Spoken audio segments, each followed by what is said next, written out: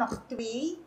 En het is, bijna, het is hetzelfde thema. Dit is ook een hele oude doek. Dit is van onafhankelijkheidsdag 1975. Eén jaar onafhankelijkheid. Eén jaar onafhankelijkheid. Ja. Toen werden er, kijk was via lobby, toen werden er elk jaar weer, of tenminste toen, ja, werd, werden er uh, doeken en memorabilia uitgegeven. Prachtig hè? Kan dit in de erfenis? Uh, ja, als memorabilia.